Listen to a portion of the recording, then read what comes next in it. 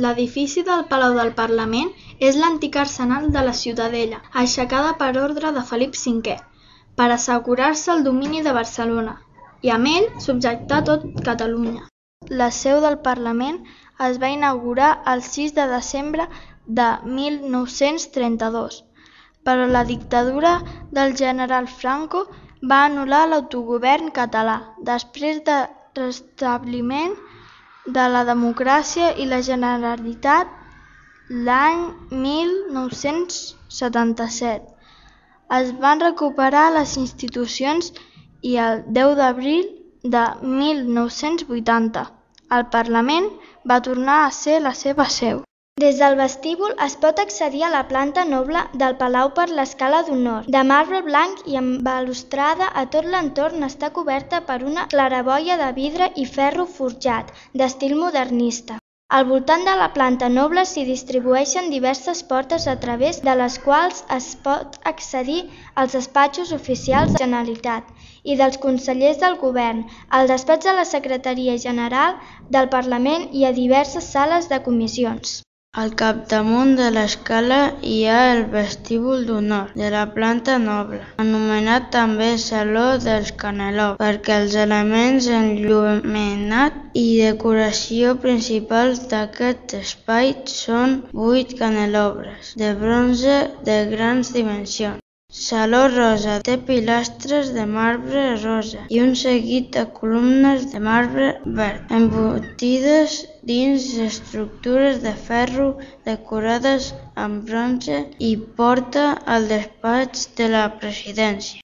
El saló gris, decorat amb pilastres de marbre d'aquest color al llarg de tot el seu lateral esquerre comunica amb la sala de conferències de premsa, a la qual s'accedeix des d'aquest mateix passadís el saló gris comunica, per mitjà d'unes arcades amb l'escala d'honor.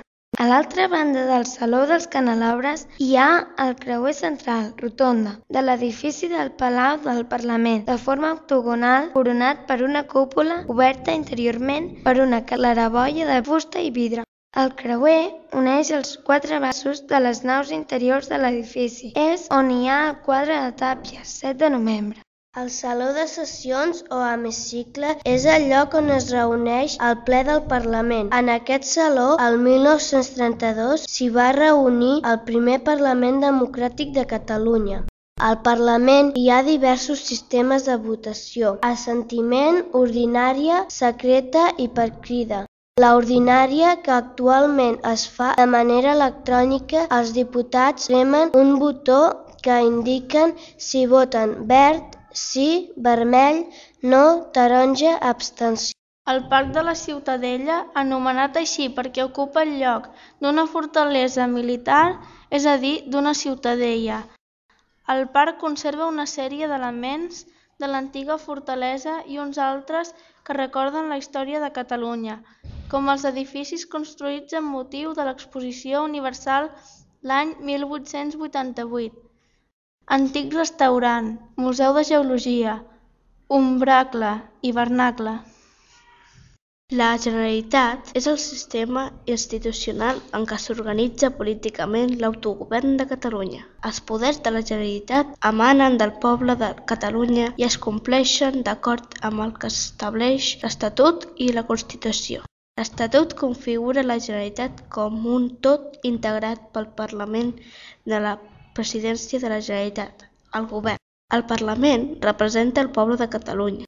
El seu origen en elecció democràtica i directa dona la força suprema al Parlament i en fa la primera institució de la Generalitat, de la qual neixen totes les altres. Els alumnes de la classe de les salamandres hem volgut representar unes eleccions al Parlament de l'Aladi Oms.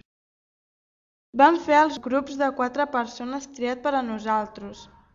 Després ens vam inventar el nom, el símbol i l'eslògan. Les propostes que segons nosaltres podien millorar l'escola. Vam presentar als companys el nostre programa electoral.